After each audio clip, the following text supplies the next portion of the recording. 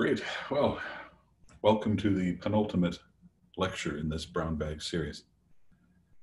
Uh, thanks to those of you who have stuck it out. For those of you who are uh, just joining, um, I hope you enjoy it. For those of you who have just been bouncing around and checking out bits and pieces of the lectures, I hope you found something that made it worthwhile. Um, in any case, please feel free to uh, reach out to me for context. Speaking of context, we're starting once again with this lovely icon uh, developed by Jonathan Anderson in conjunction with uh, Nico Bryan and myself during our work at Evolv. Um, and we're going to jump right into today's talk, which is Taylorism, Therbligs, and Time in a Bottle. Um, the concept we are going to be talking around today is the idea of measuring improvement versus improving measurement. And that process, while we try to do it deliberately, sometimes is often entirely unconscious for reasons that I hope are entirely predictable to those of you uh, who've been through a few of these lectures already. Um, either way, I'm going to walk you through it a bit now. And uh, of course, all of it will be tied back into the greater um, societal context of current events, like always. Let's get going. So today, um, we're going to start with the ideas that I've already shared, like we always do. And uh, the fact that thinking at three speeds makes us prone to generalization and really emotionally fragile prejudices. Um, and it makes us feel as though we are absolutely certain, not, not feel, it, it, it makes us know that we are absolutely certain that we know better than any experts about any field. And we are more insightful and intuitive and clever than every other person individually or combined. Um, these ridiculous biases and prejudices uh, become stronger when we're under stress, like we all are now. And uh, the way to make them weaker, the way to mitigate these biases, is to um, expose them carefully and slowly to rational thought that has to come from inside the same skull that the biases are coming from. So we can help others get past their biases in the same way that we can help ourselves get past ours. But it requires reaching out into the world and trusting what we learn from the world and the people in it as much as we trust what we already feel we know and maybe more. So let's talk about that some more. So once again, a summary of the triune brain according to my brain's model. Um, our reflexes surprise us almost all of the time because they happen without thought. Uh, once we're surprised, then any reactions we have, the, the fast pattern recognition, the emotionally laden stuff that I talked about before, coming from the middle part of the brain, the limbic system, all of that is going to be based then on the fact that we've just been surprised.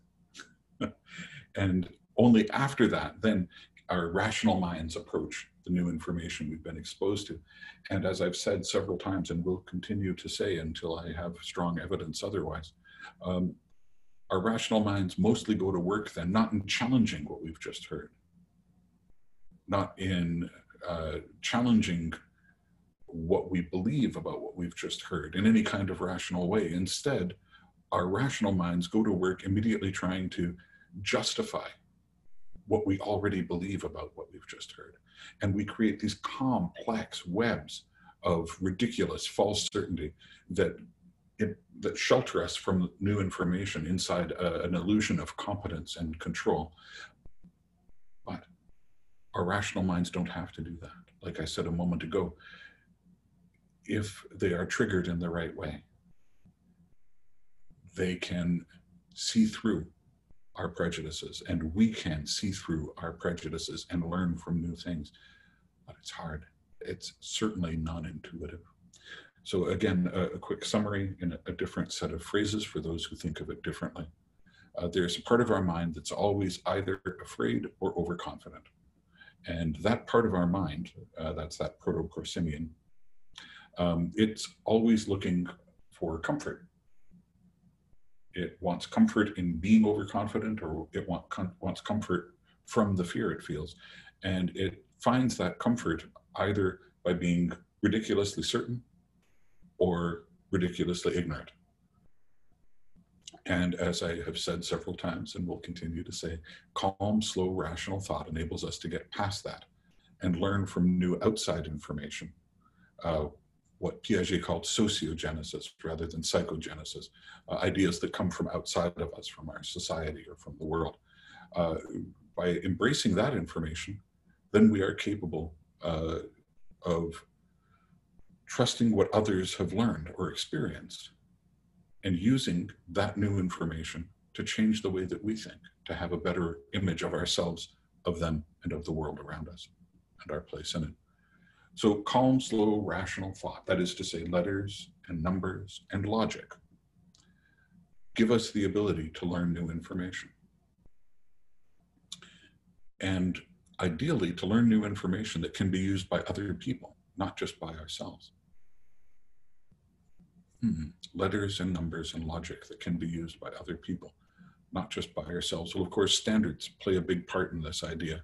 The things that we can all agree on, like counting, right? That's maybe one of the simple unconscious standards we have across languages, across cultures.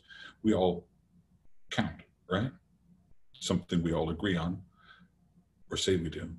But the truth is that we use different ways of counting for different situations, totally unconscious of what we're doing that. So why do we do one, why do we count some things one way and some things another way? Well, because these protocols, like I said, that we follow uh, for deciding what to count which way. Um, but for the most part, that's completely unconscious. And because of that, we are incapable of questioning them until we stop and think slowly about what we're doing. Um, now, I know that's all pretty abstract. So let's use for a moment some protocols that are used for estimating numbers of people in a given space. Um, now, you and I may not know those protocols in particular, but some people do, and some people use them.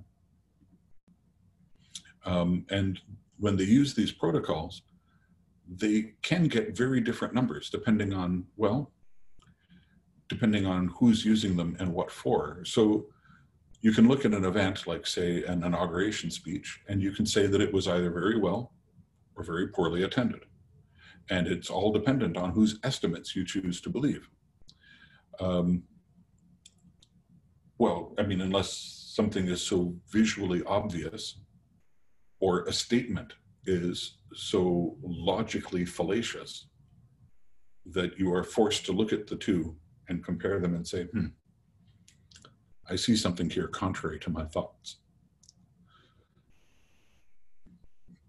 But for the use of these protocols, uh, the methodology being used and the intent of the people using it um, are shaping which protocols they use. Um, and what that boils down to is why are they counting and what are they calling the people that they count?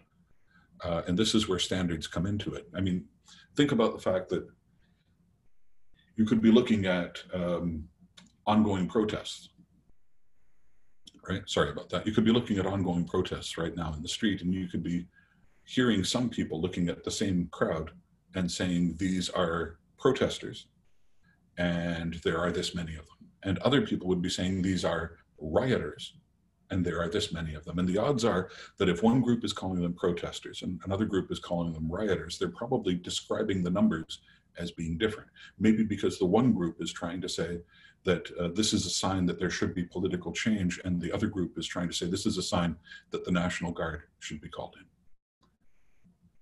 So again, this is why we um, benefit from having standards. Consider that these kinds of soft numbers I've been talking about only work when differences of opinion are viable. Consider, as opposed to that, a fire marshal who can't use soft numbers. Um, they need to meet established regulatory standards. Um, and they need to do that in a way that's measurably done. They need to uh, meet these regulatory standards in a way that can be proven or disproven in order to keep their jobs and in order to save lives, which is probably why some people hate regulatory standards. Um, to put it simply, you can't be vague with very precise numbers. You can be vague with estimates. And the more roughly you're estimating, the more soft the number is, the more easy it is to convince people that your interpretation of it, though it may run contrary to what seems clear, your interpretation of it may be accurate. Um, whereas with precise numbers, it's really hard to be vague. Like you couldn't say that uh, 6,200 is uh, a crowd like I guess nobody's seen before. I'm pretty sure lots of people have seen crowds of 6,200 around there about. The precise number makes it hard to have this strong, forceful opinion contrary to fact. Now, that's probably offending all kinds of people in so many different ways. So let's go for a, a less political example and talk about eggs and baked goods. Uh, I think that's something that's less political, that uh, more people have experienced. If you haven't experienced uh, purchasing eggs or baked goods, then um, I'm sorry, I guess you don't have a direct experience with the example I'm about to give. Sorry about that. Sincerely sorry. I, I, I'd like to find one that will suit you, but maybe you can give me some feedback later and I can find one that way. And that way it'll suit the next audience who hear this. Um, so eggs and baked goods, uh, we sell those by the dozen, we buy those by the dozen. You all know the phrase cheaper by the dozen, a phrase I mentioned a few times in these talks when uh, discussing a couple of scientists whose work I really admire. And I will be mentioning them and this phrase uh, again in a little while but uh, cheaper by the dozen describes a way of purchasing things and why you would purchase a dozen instead of less than a dozen. Um, and I think personally that this is because the purchasing of eggs and other uh, and, and baked goods goes back to um, in, in a fairly direct line to time before there was a standardized accepted u, uh, unit of weight that could be used no matter where you were. Um, and that could be trusted. Um, so, I mean, it's possible we could sell bread by the pound. Uh, we do sell meat by the pound and uh, some fruit by the pound, but instead we continue to sell it uh, by uh, the loaf or by the uh, dozen or half dozen um, uh, buns again, I think this is just because of a force of habit that comes from uh, a long time ago, before there was dependable stuff. And, and speaking of things that come from a long time ago, that phrase cheaper by the dozen is an interesting phrase that continues to be used now, uh, as are the phrases milestones or uh, one bad apple or a few bad apples. Um, there's a few different versions of that phrase, but in fact, let, let's, let's leave milestones aside until later and talk about that phrase about bad apples for just a moment. Um, one bad apple don't spoil the whole bunch girl, a line from uh, the Osmonds 1970 hit, uh, One Bad Apple. or we could go a little further back to see an earlier source of the same uh, notion, uh, which is from uh, Chaucer's The Canterbury Tales, and specifically the Cook's Tale. Um, it is better to take the rotten apple out of the bag than to have it rot all of the other apples. And please notice that these two statements are contrary. The old established phrase that's the foundation of this, um, is even older than uh, the uh, 1400 uh, date of uh, the Cook's Tale, uh, because in the Cook's Tale, uh, the character um, explains that this expression is an old expression. So already 600 years ago, 620 years ago, this was an old expression. Um, better to take out the rotten apple than to have it rot all of the other apples because contrary to how the phrase is used now, when people are using it quite a bit these days, um, mostly uh, commentators on 24-hour news channels um, uh, or police spokesmen. Um, when, when folks are using the phrase now, they seem to say what the Osmonds uh, protagonist was saying when he was singing for his uh, girlfriend to forgive him uh, one bad apple don't spoil the whole bunch. But that's not how the phrase works. The phrase is actually based on real apples. And what happens if there is a real spoiled apple in a bag or barrel or bushel of real apples? What happens is the rot in one corrupts the others. That's where that expression comes from. So, absolutely, if there is a rotten apple, if there are a few rotten apples. You take them out. And I'm not saying that in some cowboy macho way.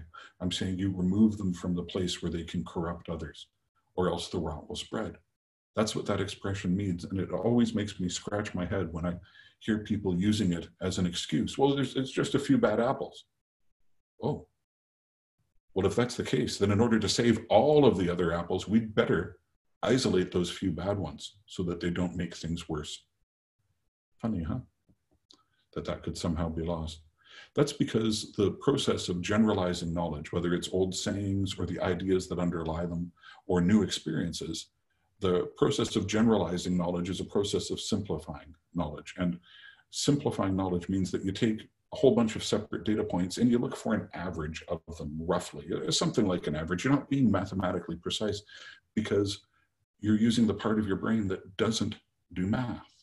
You're just looking for general impressions. And it, it might be something that you could describe as the mean or the median or the mode or the modal. It, it, it might be. The point is you want a simple way to process complex information. One of the simple ways we do that is through habit. If we have habits of how to do things, then we don't have to rationally think about them. We can just get to work. And uh, our habits can be individual or group or cross generational. And I won't go into that too much here now. Um, individual habits, we all know them. Living in isolation to one degree or another, we are all forced to live with our habits and to confront them every day for the last few months. I won't go into details about which ones I may be confronting or you may be confronting.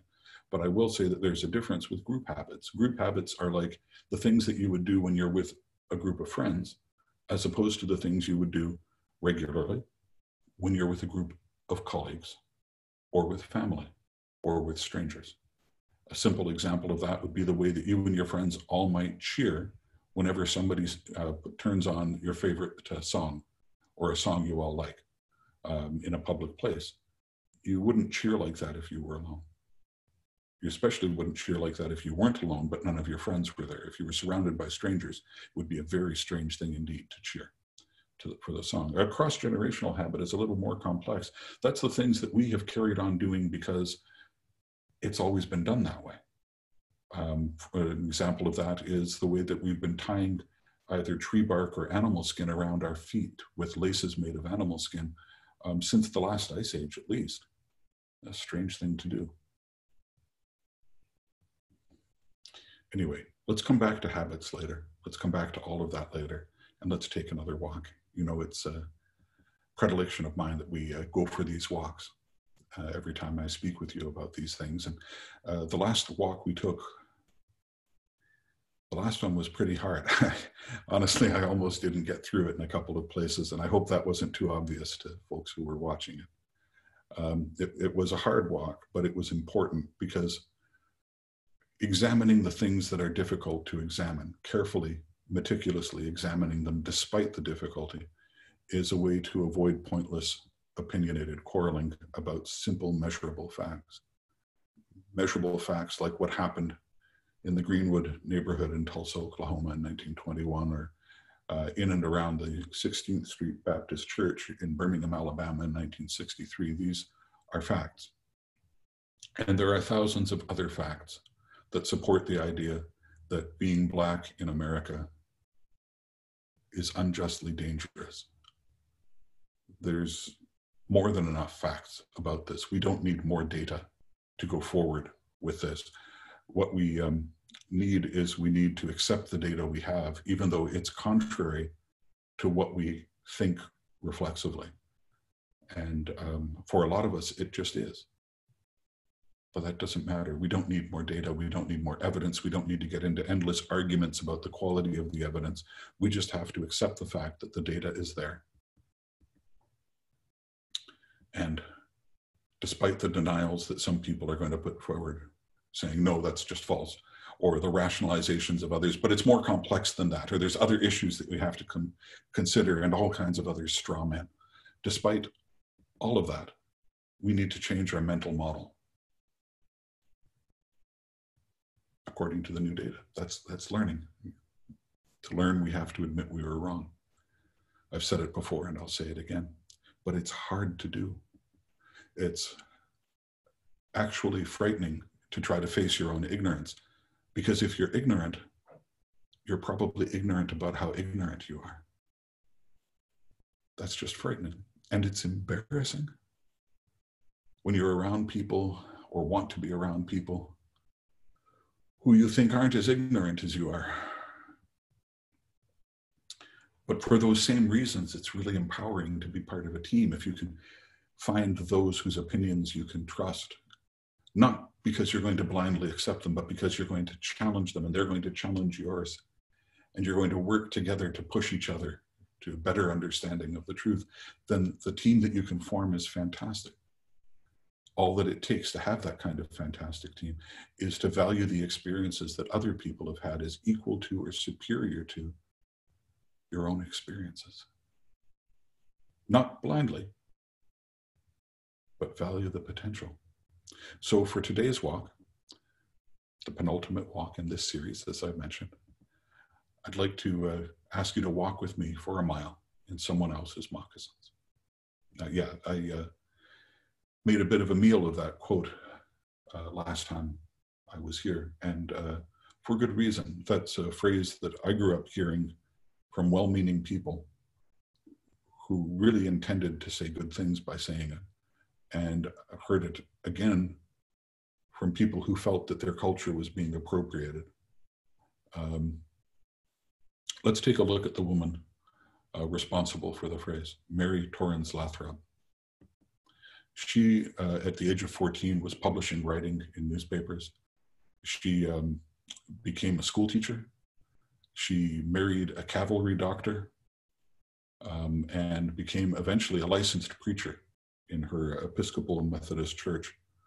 Um, as she became more famous for her lectures, for public speaking, and her activism uh, for temperance, which is to say against alcohol, and for women's suffrage, which is to say for the equal rights of women, especially regarding the vote. Um, she also uh, spent money and effort um, on complex things like founding a reform school because she believed that just because you had been in a bad situation didn't mean that you were a bad person, that you could reform your life. This is more than 100 years ago, so please understand that the term and the idea maybe have changed a bit since then. Um, she also spent her time and energy uh, actually sewing clothing uh, for, uh, for women who couldn't afford clothing. Um, she was an interesting person. She was also a poet, and the single poem she's most known for now, though she was considered quite the writer uh, during her latter years, um, goes like this Pray don't find fault with the man that limps or stumbles along the road unless you have worn the moccasins he wears or stumbled beneath the same load. Not bad. Um, the poem is called Judge Softly, though most people call it uh, Walk a Mile in His Moccasins. Um, Judge Softly, it was written in, in the year of her death, uh, 1895. She was a young woman when she died. Um, and this is just the first verse. There, there will be more of this poem later. The question I want to ask you is this, this well-meaning woman who was such an activist, was she an ally to the people she was writing about? In, in the poem, she specifies people living in ghettos and people living on reservations. Was she an ally to them? Was she a cultural appropriator? Was she trying to be a white savior? To address this issue, I want to go back to a question I asked a couple of weeks ago. What defines a shape, like a circle or a square? What makes a shape either one or the other? Part of the answer is standards.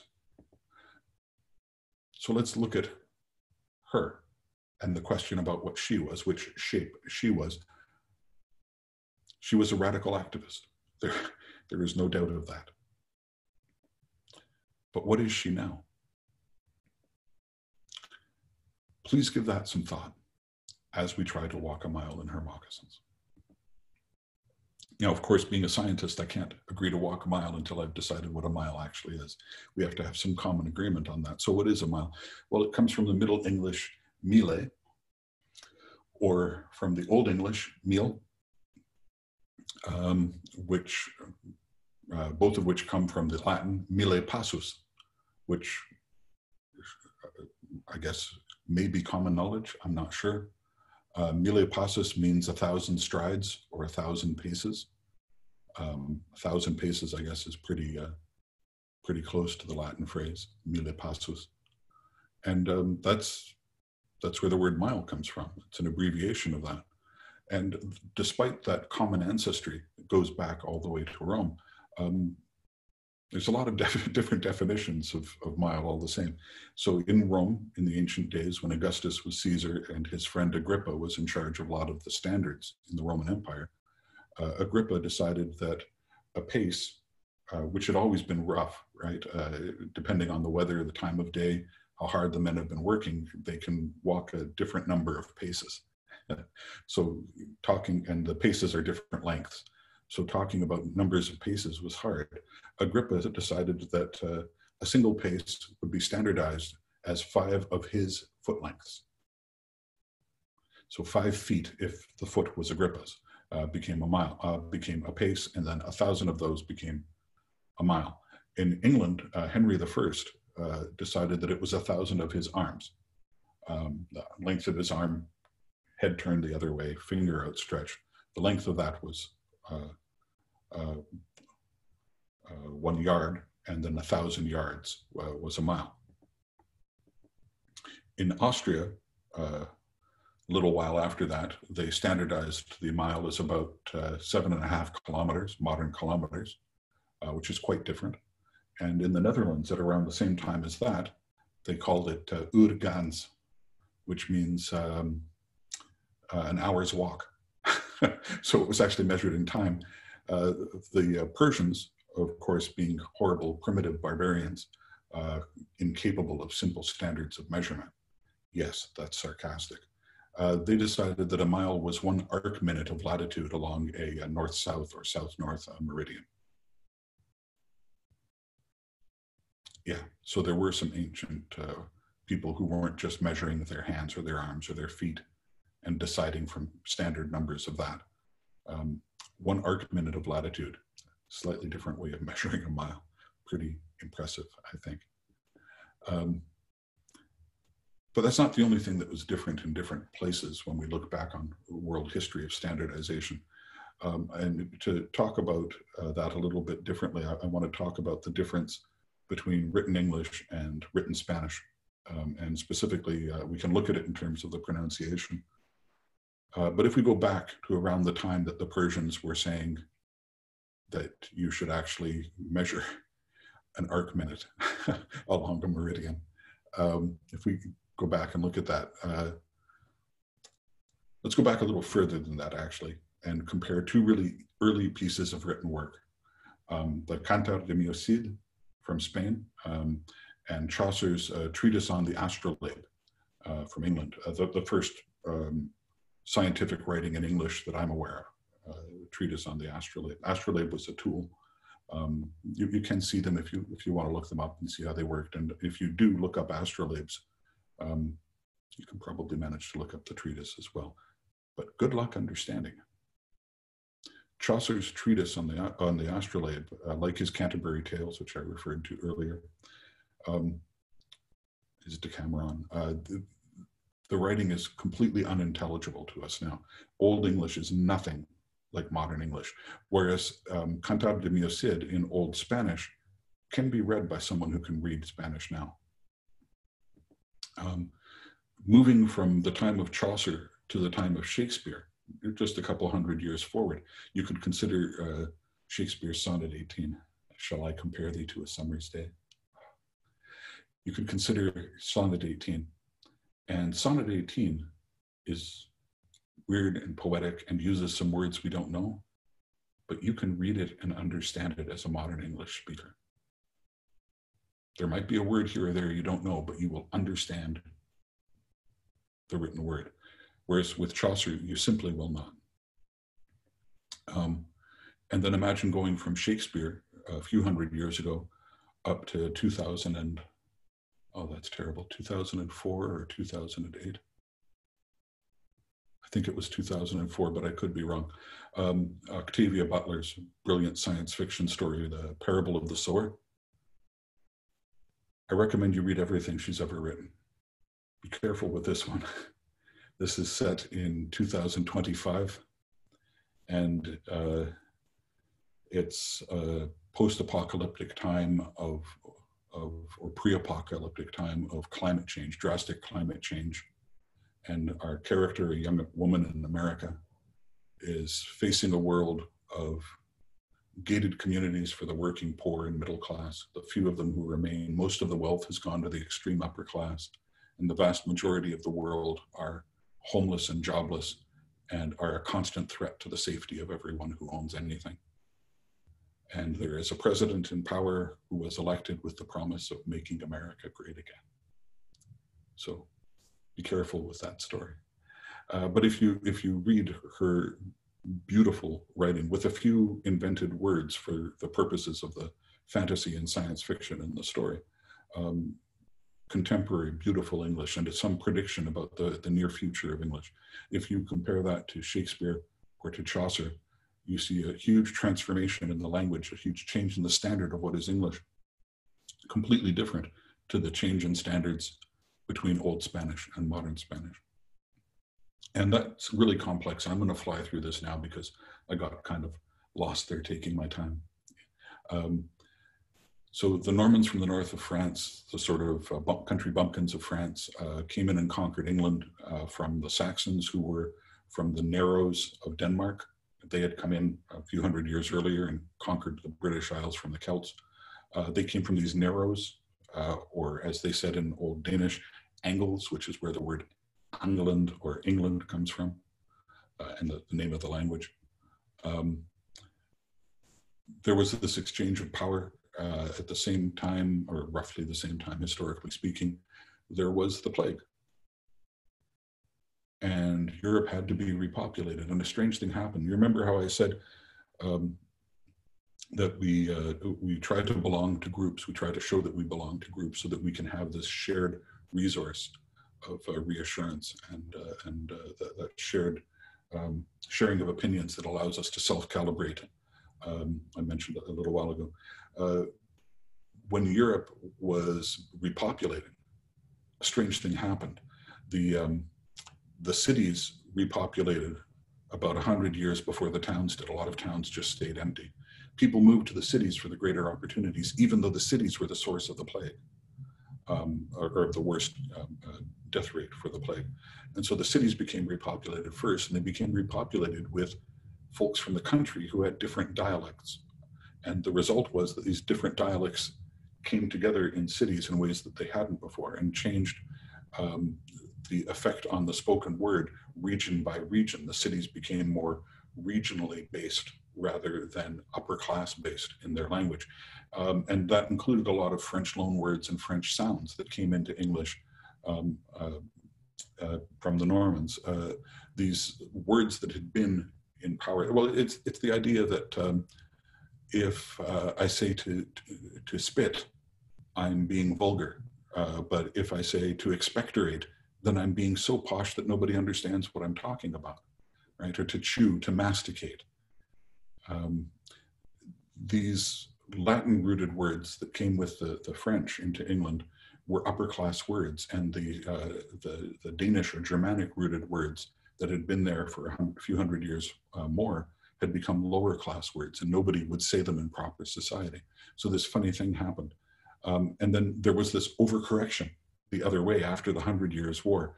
Um, and uh, the overcorrection saw people trying deliberately to not use the Latin pronunciations, uh, others trying deliberately to use uh, Latin pronunciations. A weird vowel shift happened, the introduction of really weird complex diphthongs, two vowels and one syllable sort of sounds.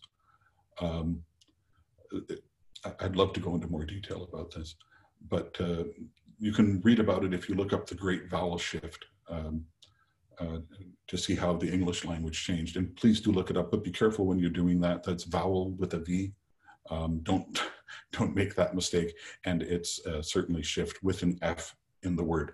Anyway, the point I want to touch on here is that the, during this time, the, the printing press was established. And while the vowels were changing, while we were adding diphthongs and uh, changing the pronunciation of words and the spelling of words to suit this change in regional and international language uh, uh, effects, um, suddenly printing became standard. And that meant that something written in one place could be seen in another place easily. And that meant that English got trapped with a bunch of mixed spellings from different effects. Um, And it wasn't just spellings, it was also the things they were writing about. So units of measurement that had been regional, right? Uh, th this is the yard. I put out my finger, I turn my head the other way. This is a yard where I live. And a thousand of those is a mile where I live because I'm the boss. My brother-in-law is, is the boss over in that valley. And he's a foot and a half taller than I am. So his miles are much longer than mine. So that suits me because it makes his valley smaller in miles than mine. Um, anyway, th these units of measurement that we were using uh, and all of the words we uh, used to describe them, that all changed when printing became widespread because everything could be standardized. And having things standardized meant that the people and parts that were essential to that, my arm defines how long a yard is and thus how long a mile is. Um, Agrippa's foot decides how long a foot is and thus how long a yard is and thus how long a mile is. Oh, and for fans of The Princess Bride, this is Agrippa the politician, not Agrippa the swords master. Um, wrong reference. Hope, hope, you weren't confused. Um, but as this writing became standardized and the units could become standardized, and this meant that you could save a lot of time trying to translate things uh, from one region's values to another. Over a couple hundred years, the standardization of tasks led to scientific management. And scientific management was the idea that production could be measurably improved simply by carefully and deliberately thinking things out and planning them. All the chairs have the same legs in all four positions. We can have some people just making chair legs and others assembling them which doesn't sound like a big deal because of course chairs are made like that, but they didn't used to be. It used to be that if someone was, was making you a chair, they would make the seat and they would make the legs and they would make them to suit what was actually there so that all the legs managed to reach the floor at about the same place. Standardization changed everything. And I've talked to you before uh, about the great film uh, Modern Times the last film in which Charlie Chaplin appeared at his, as his little tramp character. And if you still haven't seen it, please do. Uh, not just because it's one of the truly great artifacts of American culture, uh, but also because it captures an interesting time when scientific management was coming into the fore. And as promised, I'm going to talk to you just briefly about a few of these scientific management heroes. So Frederick Taylor was the guy who introduced the concept of scientific management, the idea of careful and meticulous planning and thought deciding how things should be done, studying the motion, studying the number of movements it takes people to get things done. Uh, unless you believe that it was actually Henri Fayol who uh, did this. Uh, towards the end of his uh, career, he published his 14 principles, but he had been doing something quite similar to Taylor's scientific management for decades. Um, then you've probably heard of Gantt charts. Uh, even if you're not sure what they are, you've probably used them or seen them. And certainly uh, if you work in modern society, you've probably uh, heard of the idea of task-specific bonuses. So that all comes from uh, Henry Gantt uh, from around the same time that Henry Ford was perfecting the idea of assembly lines, where all of these prefabricated, universally consistent parts could be assembled by people who didn't have to know anything about what happened earlier or later in the process. They could just become specialists in one particular job. And that is entirely the opening part of uh, Charlie Chaplin's great film. I so encourage you to see it. It's actually hard for me not to laugh out loud now while I'm thinking of that scene. Um, but also um, what was going on at the time and what is only slightly reflected in the film uh, is the work of people like Elton Mayo or Mary Parker, uh, Elton Mayo did the Hawthorne experiments, and please look them up. If you're interested in workplace management, it's a great bit of information. He was the one who showed that rather than offering people bonuses, offering them some authority, some autonomy, some influence over what they were doing led to better performance. And uh, Mary Parker, uh, who was a social worker uh, rather than an engineer, uh, like most of these people, um, or a psychologist like I believe Elton Mayo was, um, talked about the actual the effect of collaboration and power sharing on uh, the motivation and productivity of workers. And it changed everything, though it took a long time to be executed. And then we come to the Gilbreths, Lillian and Frank, and I've talked about them before and I will talk about them again, but I think this is the last time I'll be mentioning them in this lecture series. Um, they coined the term Therblig for every, uh, every unit of thought or movement um, involved in a task, improving upon Taylorism's pure measurement of tasks.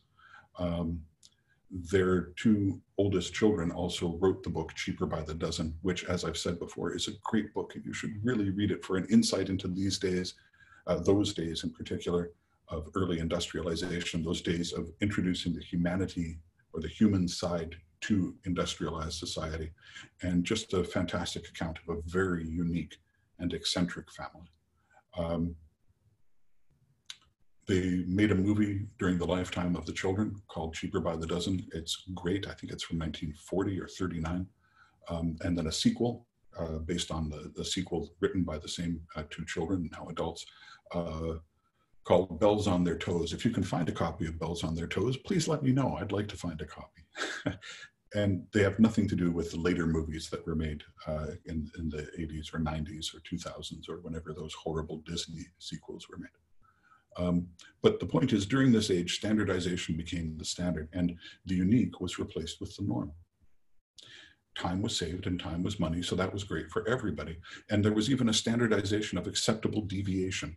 So you create classes of specialists in different jobs, the people on the assembly lines, and you rate their speed and just fire the slow ones the standardization of acceptable deviation went even further than that too, because when people feel like they're competing, when they are and when they're really not, then they have a further urge to define themselves by the subgroup that they feel they can associate with, as I mentioned before. And while it used to be that our regional dialects was one of the many, many unconscious ways that we self-calibrated and signaled to others that we were all part of the same gang, um, that disappeared then people tried to lose their, their regional dialects and fit in with the place they were working. And now instead it's the dialect of the sport or the music that we listen to uh, or watch, the uh, catchphrases and buzzwords of our work. Oh boy, I could do hours and hours on catchphrases and buzzwords of our profession, but fortunately I don't have to. There's a great book out called Uncanny Valley. Um, and I, am sorry, I don't remember the name of the author, but she's brilliant, and I encourage you to read the book. I'll, I'll put her name in the book's full name uh, in the notes. Um, all of these things then become how we identify ourselves and how we choose which group to compete with and which group to belong to. And all of them are commodified, as is the choice we make of the clothing we wear, the hairstyle we wear, the neighborhoods uh, we're in, how we move through them, and of course the coffee we bring with us when we do that. And even whether or not we wear masks in public, which shouldn't be commodified, shouldn't be part of a group association. It should just be simple logic at this time. It, it, used to be more subtle than a secret fraternity handshake where you could see somebody was shaking hands a little longer and it meant something. Or a hoboglyph painted on a wall or a, a pile of rocks even sometimes to say which houses will give handouts and which ones have angry dogs uh, or even a largely forgotten triangle uh, used prominently in the tweet of a major political party in America last week, as though that were somehow acceptable. It used to be that we'd show a bit of who we are and what we believe and some of the things we've decided to be proud of, things about our past and where we come from, or more likely things about who we are now, and who we choose to be now. And uh, these are the acceptable bread and circuses, the things that we can care about, the important stuff that people get riled up about that really isn't important at all, except in that it gives us the chance to be part of a defined group and show an oversimplification, an overgeneralization of who we really are and who we want to associate with and who we want to exclude. And this has the effect of making that exclusion an essential part of who we are. And if you look at all at today's news, that exclusion seems to be more important than anything else, which brings me back to Mary Torrans Lathrap, a poet who tried to tell us that we should immerse ourselves in other, uh, in other cultures. That's what the poem says. Not to appropriate those cultures, but to try and understand that if we had grown up in that culture under those conditions, we would be like the person we see. So what defines a person? Is it their average behavior or their outliers? Is it their standards or the standards of their era? Or is it the habits of their great grandparents? Who defines a person? Is it their own context that should define them or that of their friends or of their enemies? Or do we get to define them by ours, years and miles away? Who judges a person? It's a tough question. And I sincerely hope you think it is. because as I said before, when answers are simplified, they're wrong. We just have an unspoken agreement not to say that they're wrong. And this is true of all answers, and it's true as true of people as it is of geometric shapes. When you see someone who can't finish lifting the glass up to their mouth, you may judge that according to your experiences, or you may judge it according to shared knowledge you get from others, whether it's true or false. Or you may have a different unspoken agreement, like the emperor's new tailor personally, I've been in a situation where I couldn't lift a glass up and had to use my other hand to do it. I used to train with weights pretty heavily when I was young. And I, have trained to the point where my biceps cannot complete that move. I don't have the strength in the entire bicep to do a full curl. So I've had to bring my other hand up to do it. I don't know if the rest of you have had that, but uh, to me, that was a very clear demonstration of a lack of strength across the entire course of the muscle. Um, but as we've discussed before, you need to fail to learn. And anyone who brags that they have never failed is really telling us that they've never learned. Never learned that they're not great with numbers, never learned that they're not a genius, never learned that they may not even be very stable. What are we failing to learn? Me, you, all of us. What are we failing to learn about the world, about ourselves, and about others? Was Mary Torres Lap, Lap, Torrans Lathrap an ally? Cultural appropriator, a white savior? Was she self serving or charitable, or was she something else? I'd like to believe she was as sincere as I am.